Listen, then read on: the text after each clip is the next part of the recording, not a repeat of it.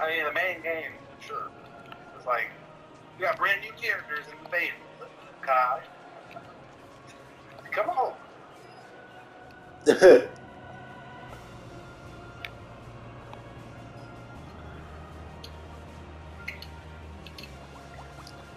lot of people stream and they gotta get W's for the stream and shit. yeah, man, that's all people care about.